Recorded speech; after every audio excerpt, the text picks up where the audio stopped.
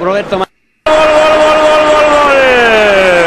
Ahora sí marca Balotelli rematando de cabeza, rematando de cabeza y de manera impecable y aprovechando su superioridad en la altura y en lo físico para ganar la posición ante la joven defensa del Inter de Milán en la que está sobre todo Bianchetti, Ranocchia y Caldirola. Y acaba marcando el primero del partido. Probablemente Duncan eh, ha merecido el gol el Inter de Milán por la